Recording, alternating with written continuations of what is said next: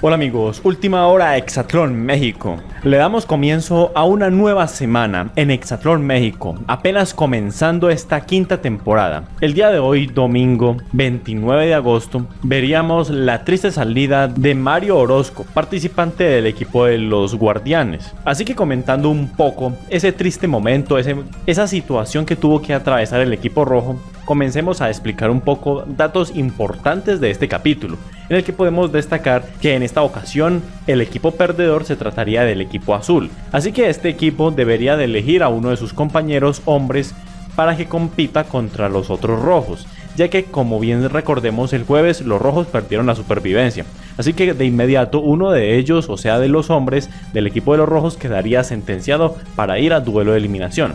Pero como las dinámicas han cambiado un poco, ahora deberían de haber elegido un tercer hombre para que compita en esta eliminación. Así que los azules votan por uno de sus compañeros para que vaya a duelo eliminación. Así que casi todos los participantes votaron por Jonathan. 9 votos contra Jonathan para que vaya a competir contra el tercer hombre de ese duelo eliminación.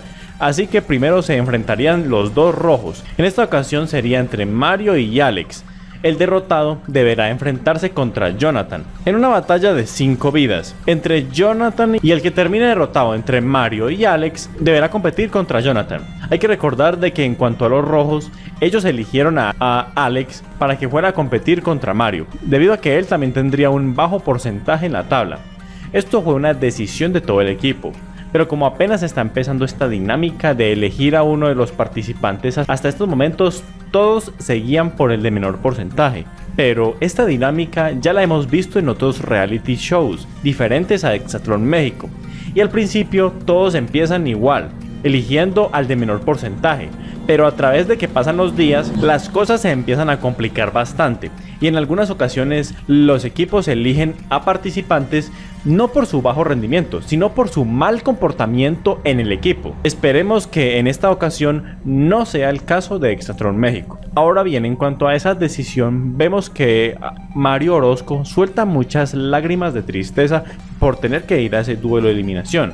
Él comenta que ha pasado por 6 cirugías y que está listo para dar todo de sí para competir en este duelo de eliminación. Pero es algo muy difícil, aquí lo vemos en su rostro, en el rostro de Mario. Así que el duelo entre estos dos, el ganador sería Alex y Mario deberá competir contra Jonathan. Entre estos dos el ganador sería Jonathan, quedando eliminado Mario. Y de esta manera muy triste termina la historia de este chico que duró muy poco tiempo en esta temporada de Exatron México. Bueno amigos, esto ha sido todo por hoy, gracias por ver este video y feliz día para todos.